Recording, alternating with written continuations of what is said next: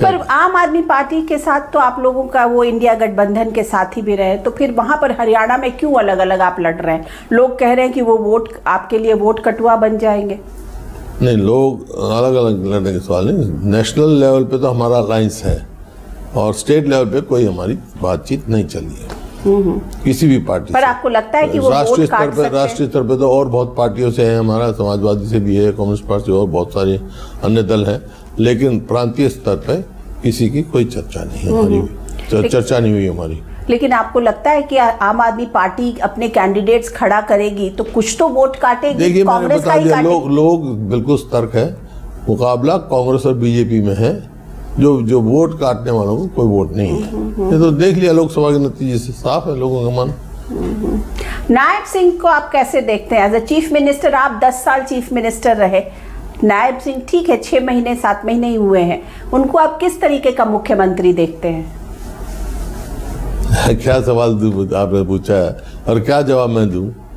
जो कभी सच बोल नहीं सकते उनको क्या जवाब दूँ? क्यों? उनको पार्टी ने उनकी पार्टी ने बनाया तो कुछ तो सोच के बनाया होगा। हाँ गुरु ने चेले को बना दिया और क्या? कौन गुरु कौन चे, चेला तो मैं समझ गई नायब सिंह। गुरु कौन? खट्टर साहब। खट्टर साहब। हम्म। तो क्या खट्टर साहब को गुरु मानते हैं? वो मानते हैं मैं क्यों मानता हूँ? उनका बयान आया है है भी सही मेरे को तो मालूम है हरियाणा राजनीति में हूँ। गुरु चेला। चलिए खट्टर साहब की राजनीति को आप कैसे देखते हैं? वो साढ़े नौ साल रहे चीफ मिनिस्टर। अगर राजनीति ठीक होती तो क्यों बदलते उनको? अगर हरियाणा का विकास होता तो क्यों बदलते? साढ़े नौ साल में कहाँ से कहाँ पहुँच गए? 2014 में जब हमने सरकार छोड़ी उस टाइम हरियाणा प्रति व्यक्ति आय मेरे आंकड़े नहीं है ये।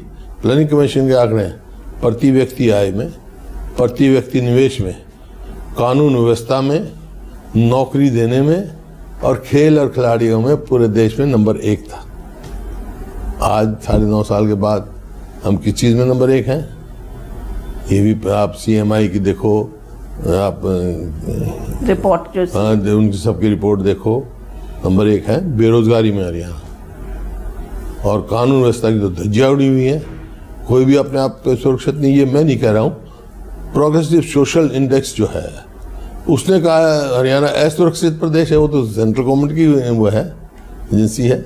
और इसी प्रकार से नौकरियों का आप देख लो। साढ़े नौ साल में इन्होंने जो, आज दो लाख रेगुलर नौकरी खाली पड़ी है, उसकी जगह एक और कौशल रोज़गार निगम बना दिया कॉन्ट्रेक्चुअल सर्विस ठेके पे नौकरी देना, जिसकी ना कोई पेंशन है, ना पक्के आते, ना भविष्य सुरक्षित है, ऐसे देना। हमने तो ठेका सिस्टम बंद करने की बात कही थी। ये सरकारी ठेकेदार बन गई। और आज उसका नतीजा ये हुआ, दो लाख नौकरियाँ खाली पड़ी हैं। तो खेल खिलाड़ियों को देख लो। हमारी पहलवान बेटियाँ, जिन्होंने दुनिया में नाम कमाया हमारे देश का, दुनिया में नाम किया उन्होंने, उनको किस प्रकार से जंतर मंत्र में बैठना पड़ा? आज तक भी न्याय नहीं मिला उनको। आप स्वयं देख रहे हैं? तो विनेश तो आई थी आप लोगों से मिलने के लिए। क्या